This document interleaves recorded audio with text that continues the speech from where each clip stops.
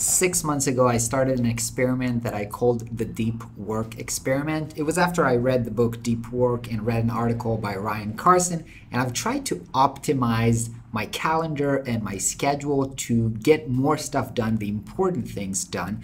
And it's been six months. I think it would be a great idea to kind of take a look and see if that holds. If you didn't see that video, you can check out here. Uh, this is basically the structure that I was thinking about. I wanted to uh, give three days to the new school, which uh, you know turned out to be Prospero. Dedicate some time to learning every afternoon, and then I had two days of retainer. So basically, I want to start with the top level, like thinking about the last six months. And the truth is that those last six months have been phenomenal. I got lots of stuff done. First of all, they've been the most profitable that I think I ever had, and we'll, we'll get to why that in a second. But not only they've been super profitable on the freelance side, also we've managed to, in that six months, launch Prospero and also grow it in the last few months. So I think it, I've been super productive, and not only productive, but effective. I did stuff that matters. So in that sense, I think it was a great success. How much of that is because of the schedule? Let's talk about this. So let's start with what actually failed. So the first thing that failed was that I realized the way that I planned it is I kind of planned for long stretches of uninterrupted time in the morning and then doing meetings uh, and emails and all of that stuff, kind of a managerial stuff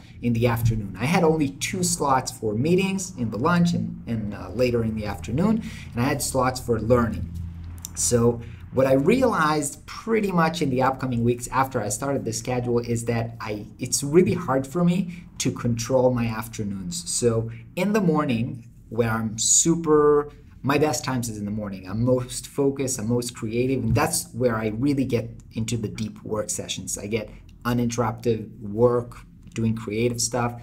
In the morning, that's best. But afternoon, it's really hard for me to control that because I get a lot of phone calls from clients. I get a lot of stuff that just been pushed in a way into my schedule and that really fell apart and you know also trying to schedule with other people with only having like two slots with fixed times for that not everybody that i wanted to meet could have um, could work with these timetables. And so that didn't really work. And what ended up happening is that my afternoons they're still dedicated to the managerial stuff but they're not really fixed and structured. They're more flexible. Um, what did actually work is that I got into the habit of not scheduling anything at all in my, in my morning. So I think that during the last six months, I didn't even had one morning meetings because all of my mornings are dedicated to, you know, creative, productive, uninterrupted times. And when I just started, I kind of had actually my email time and social network time was scheduled. So I knew that I'm checking emails in six in the morning when I wake up, and then at lunchtime in between, I do not check emails, I do not open Facebook and so forth.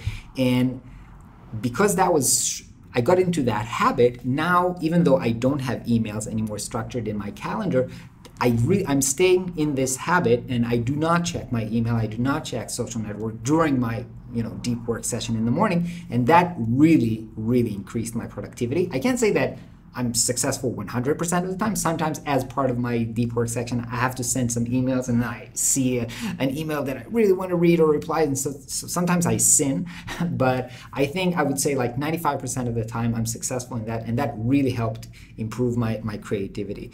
Now, the second thing that happened was that I realized how much I am productive, more productive in the morning and when I have those uninterrupted times. And I realized that having two full days dedicated to my retainer client is actually hurting my productivity. That in you know in combi- combination with the effect that actually having my retainer time I'm, I'm, kind of charging per hour and that's fixed. And when i'm doing project um, i can do them whenever i want.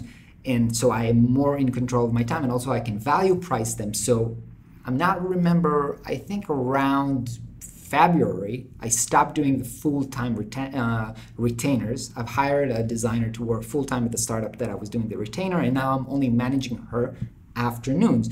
And that means that I got two more uh, deep work sessions in my week. I started out uh, six months ago with only three days that I could do uh, deep work for myself, and then two of them were owned by the client. And now I have five days a week that I can have deep session uh, you know working on what's important to me. So true sometimes some of those deep sessions are uh, working towards you know client projects but still i managed to be so much more productive that i think the effects are you know huge for me. So you know final takeaway for me is that i cannot be one of those people who have everything blocked in their calendar to be super super productive uh, I need to be more flexible than that. But the thing that needs to be fixed, calendar or not, is that my morning sessions are uninterrupted no matter what I'm working on. I feel that does make a big impact on my work. Regarding the learning, I was pretty optimistic thinking I can dedicate like one hour or two hours every afternoon studying. That did not ended up happening but that doesn't mean that i didn't do any learning during the last six months i did do a lot of reading uh, to you know listening to audiobooks mainly when I uh, when I'm on the bicycle. And I have about one hour and a half riding with the bicycle almost every day. And so doing that you know I can read a lot of books. Also reading books on the weekends and nighttime before I go to sleep. So I did manage to do uh, learning uh, but not on the schedule that I thought I will be doing Anyway, that's more or less the recap. I'm actually very, very happy with the last six months. I'm trying to think if there's anything that I can do to improve the next six months, but uh, nothing that I can think about right now. But I should probably dedicate some time to think about what can I hack and improve. Anyway, hope you find this productive and you kind of try to make those experiment with your you know time management because for me honestly I did see huge effects.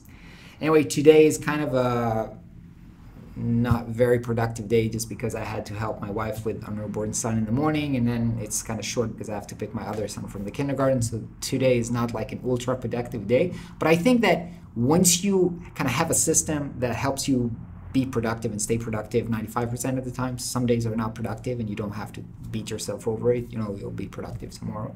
So hope you guys have a great day, and I'll catch you tomorrow.